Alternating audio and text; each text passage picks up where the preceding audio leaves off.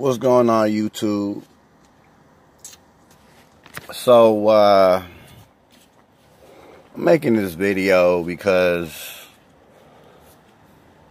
I I see a lot of strife and I see a lot of drama on YouTube amongst different communities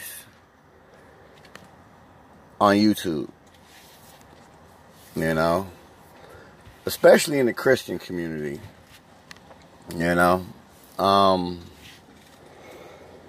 I see a lot of backstabbing going on. I see a lot of backbiters. I see a lot of people who are, you know,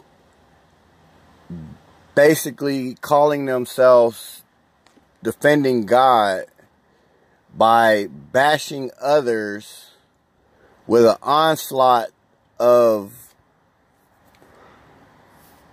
of I mean just different stuff, you know, like you got these date set setters out here which I mean, you know, I think it's so messed up how these people are on here using God's name not only to profit but to lead, you know, the, the body of Christ astray, you know, it's, it's, it is ridiculous. You know what I'm saying? Like, all those people that are being false prophets and setting dates, the blood will be on your hands. When you sit or when you stand in front of God and have to give an account of everything that you did in your life. What what are you going to say? What can you say? Nothing. You can't say nothing. You cannot say anything at all.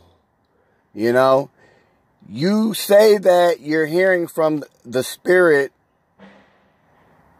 of God, but you must be hearing from the different spirit, from a different spirit and the God of this world. Because everything that you are saying, just because you, you twist it up and make it make sense to align with the word of God you know, it doesn't it doesn't make it a sound doctrine. You know, and God is going to punish you for that. I beseech all you date setters and all you people that are bashing one another to repent and ask God to forgive you. Because you are supposed to treat each other with love, gentleness, kindness, and meekness. You are not supposed to bash your brother or your sister in Christ. You're not supposed to do that. You know, you are grieving the Holy Spirit. You are grieving God's heart when you do this. God can defend himself. He is the Alpha and the Omega, the beginning and the end. He is omnipotent. He sees everything. So who are you to take matters into your own hands and bash another brother or sister in Christ just because you don't agree with what they are saying? You don't have that right.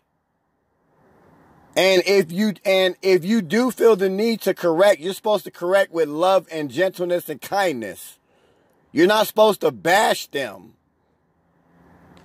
People, wake up, man. This world is this world is so corrupt. This world is so evil. I mean, look at everything that is going on in the world today. Everything. People, please wake up. Please wake up. Seriously, please wake up. Stop stop bashing one another. Love each other. That's what you're supposed to do. You are commanded by Father God to love your neighbor as you would love yourself. Treat your neighbor as you would treat yourself.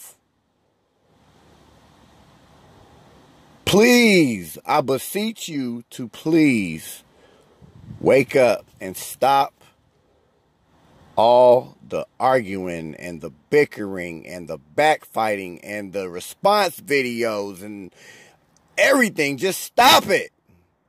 Please stop it. With that being said, I love you as all my brothers and sisters in Christ. God loves you.